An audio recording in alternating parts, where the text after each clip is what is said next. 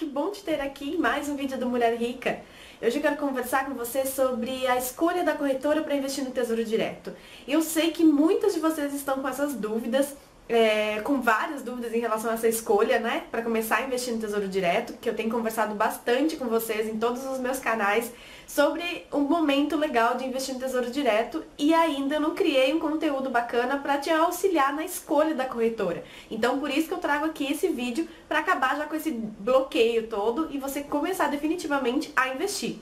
Então eu recebi essa pergunta pelo Facebook, por e-mail, pelo Instagram, por vários canais. Então eu tinha que vir aqui responder para todo mundo e para vocês darem um passo a mais em direção aos investimentos de vocês. Então acabaram-se as dúvidas, porque com esse vídeo você vai conseguir sanar todas elas e começar os seus investimentos no Tesouro Direto.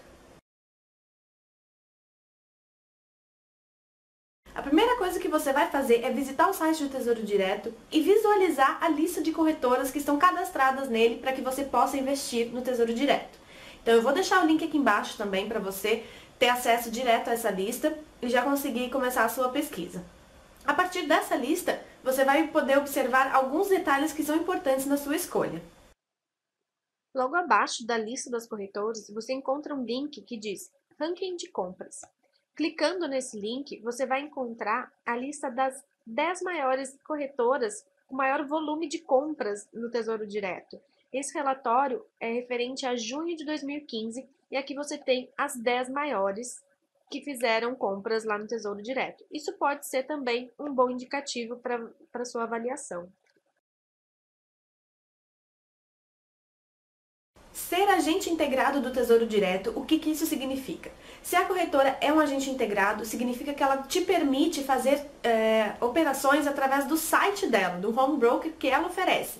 Então você pode acessar lá e fazer todas as suas transações diretamente pelo site da corretora. Se ela não é integrada, você terá que fazer todas as suas transações através do site do Tesouro Direto.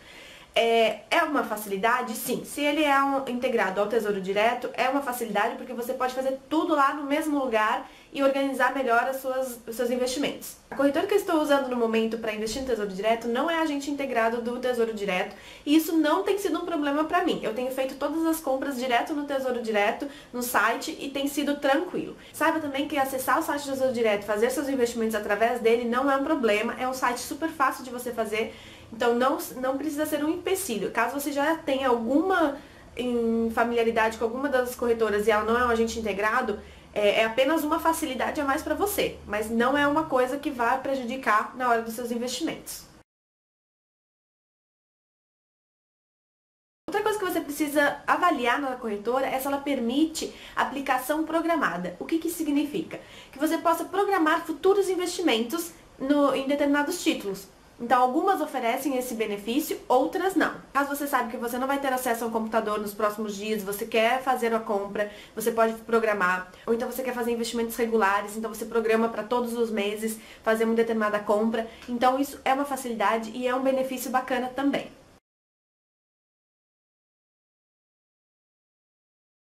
Eu acho que agora é o ponto principal da maior dúvida de vocês, que é a taxa de administração.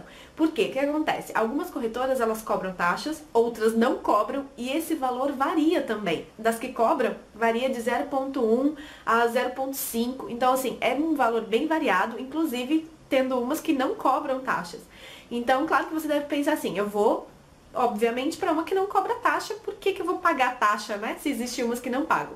Qual é a diferença? Realmente, assim, Talvez você possa encontrar a diferença nos serviços oferecidos pela corretora e pelo porte da corretora, mas isso não tem influência direta na sua escolha, nem deve ter. Claro que se você puder encontrar vários benefícios numa que não cobra taxa e ela for atender às suas necessidades, é legal porque você já economiza uma, um valor e todo esse seu dinheiro pode ser investido.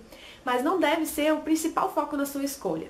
Mas no serviço compra do título no Tesouro Direto não influencia a taxa que ela cobra, a não ser realmente o valor que vai ser debitado do seu saldo.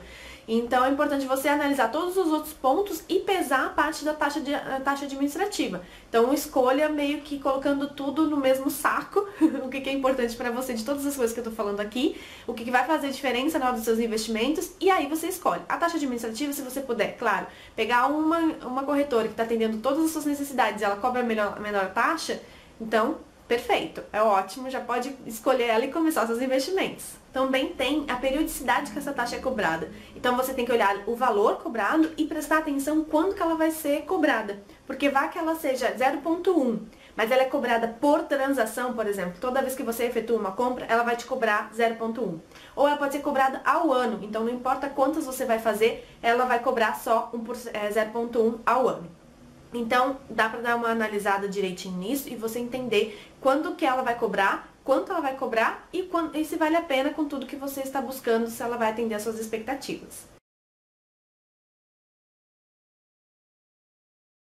Outra coisa importante é o prazo de repasse dos recursos. O que, que isso significa? Você pediu, você vendeu seus títulos ou já chegou no prazo de vencimento dos seus títulos e você quer seu dinheiro de volta. Quantos dias a corretora leva para disponibilizar o seu dinheiro na sua conta? Então, quanto mais rápido, melhor. O ideal é que seja D mais zero, que significa que é um mesmo dia ele já está repassando o dinheiro para sua conta. Então, isso é um ponto bem legal, porque algumas levam três dias, dois dias. O melhor é que seja no mesmo dia. Outra dúvida que eu recebi é se corretoras de bancos valem a pena. Então, assim, você vai pegar e é, todas essas questões que a gente conversou aqui nesse vídeo e vai analisar na, na, corretora que você escolheu, do seu banco, por exemplo, e vai ver se ele vale a pena ou não. Às vezes, correntista e dependendo do tipo de conta que você tem, você tem outros benefícios, o que pode ser bacana para você. Mas se você pegar é, e colocar ele lá, analisar com todas essas coisas que a gente conversou aqui e ver que ele não tem vantagem em relação às outras, às outras corretoras, então talvez seja melhor você não usar a corretora do seu banco. Use todas essas coisas que a gente conversou aqui nesse vídeo para qualquer corretora que você for analisar. Então, independente dela ser, eh, ser, do seu banco ou ser uma que você está avaliando, o importante é que ela se encaixe na maioria dessas coisas que a gente conversou, que ela ofereça maiores benefícios para você.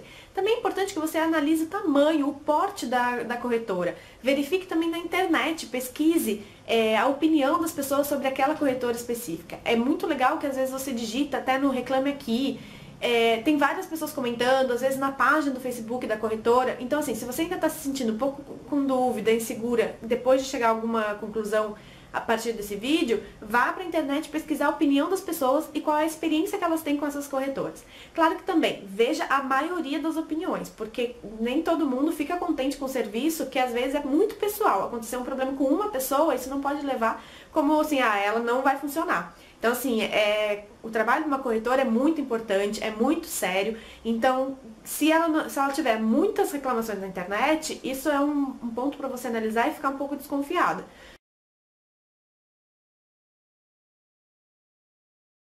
Faça a lista de três corretoras que você teve interesse. Então, dessas três corretoras, coloque qual que você teve mais interesse, a segunda e a terceira com maior interesse.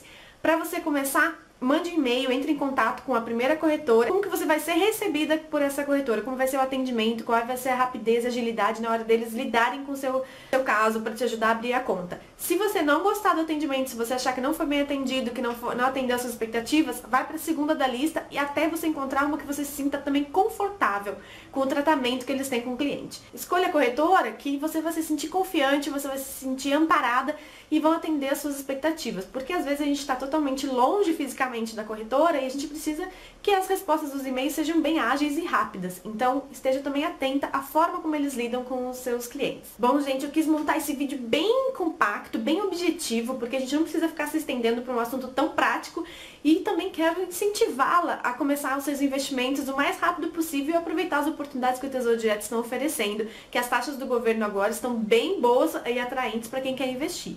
Então, não perca tempo, pegue esse, esse vídeo, é, analise e faça a escolha da sua corretora e abra sua conta. Não se esqueça que abrir uma conta numa corretora não tem taxa.